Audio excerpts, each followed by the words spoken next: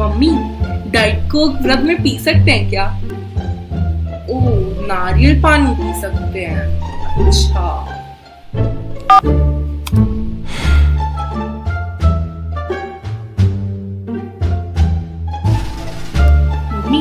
क्या मैं थोड़ा सा ऑमलेट खा सकती हूँ क्या कुछ होगा तो नहीं ना? मम्मी? मम्मी!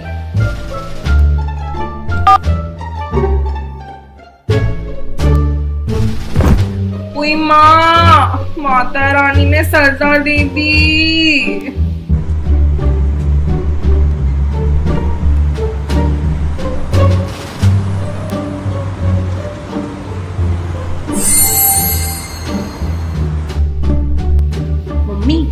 पकौड़े खा सकते हैं क्या? क्या? किट्टू। ओके, कुट्टू के पकौड़े। किसी दुकान का नाम है क्या? नहीं, दुकान से कुट्टू का आटा लेके पकौड़े बनाते हैं। अच्छा।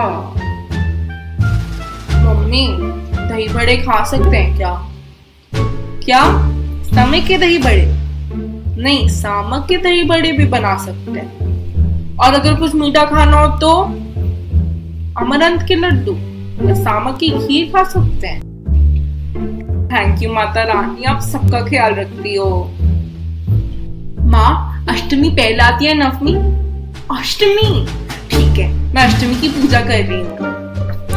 ओम जय जगदीश हरे। स्वामी जय जगदीश हरे। भक्त जनों के संकट भक्त जनों के संकट। ओम जय जगदीश हरे, स्वामी जय जगदीश हरे।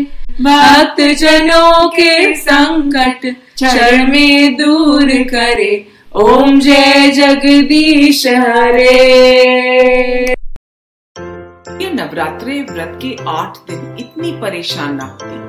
अगर वो जानती कि अपने व्रत के दौरान भी हम स्वादिष्ट व्यंजन खा सकते हैं। हमें बस इतना पता होना चाहिए कि इन्हें बनाने के लिए हमें व्रत में इस्तेमाल में आने वाले मिलेट्स काम में लाने चाहिए। हम इस्तेमाल कर सकते हैं बानयार्ड यानी कि सामक के चावल बकवीट यानी कि कुट्टू और अमरंत यानी कि राजगीरा।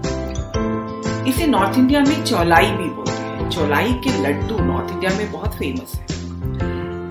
इन मिलेट से तकरीबन वह सब व्यंजन बन सकते हैं जो हमारे रोज के इस्तेमाल करने वाले चावल या गेहूँ के आटे से बनते हैं। अगले व्रत के लिए आप पहले से ही तैयारी करके रखिए। ऑर्गेनिकली ग्रोन अनपॉलिश्ड और सुपीरियर क्वालिटी के मिलेट्स खरीदिए मीजॉस और ग्रेनॉस मिलेट ब्रांड से। ये आपको इनके वेबसाइट से मिल सकते हैं और ये अमेजोन पर भी उपलब्ध है।